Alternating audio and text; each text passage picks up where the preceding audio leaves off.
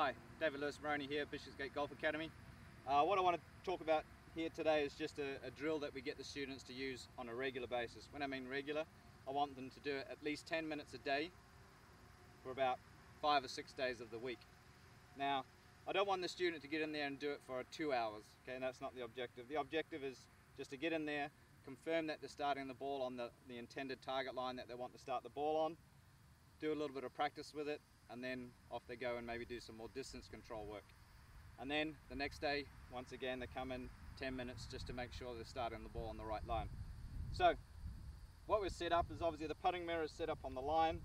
I've got a gate here as well. So the gate is to give me feedback if I have actually started the ball on the line that I want to. And obviously the line is here down the middle of the mirror. Okay. I've also got the second mirror just to help out with some feedback. So what I want to do with this putting mirror is just check the basic things. Am I getting my eyes in a good position? And again, I can get the reflection from the mirror to give me that indication. Am I getting my toes, my knees, my hips, my forearms, my shoulders, and my eyes all parallel with my target line?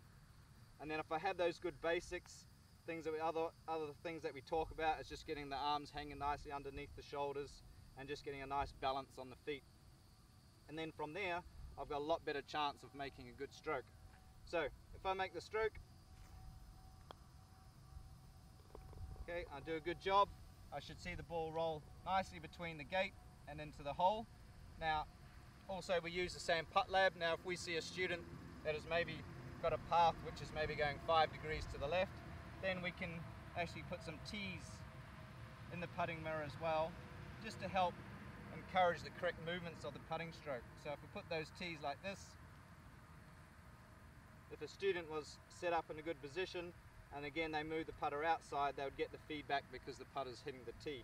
Or if they were to cut across and hit the inside tee as well.